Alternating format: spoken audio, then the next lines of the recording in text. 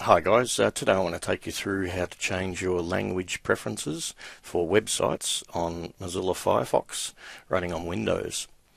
Okay, so we start by opening up Firefox and top right hand corner you'll see the menu hamburger there. Click that on and then we go to options. Now we make sure the general tab on the left there is selected, which it does by default, and then scroll down to language and appearance, and then to language, and there'll be a button there called choose, so we click that on, and then we click the uh, select box there, and scroll through to find the language you're after. So I'll add uh, French just for example purposes, and then we click add now, by default, it will put it at the top. These are in uh, order of preferences.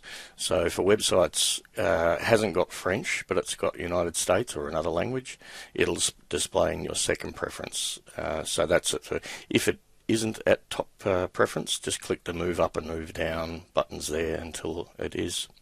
Okay, so once you've done that, click OK. Close settings dialog, and then hit a website like Google, and then we'll click refresh and as you can see there it's uh, displaying in uh, French there for me. So it's pretty easy nowadays. Um, any questions or comments leave them below. Catch you next time guys. Cheers.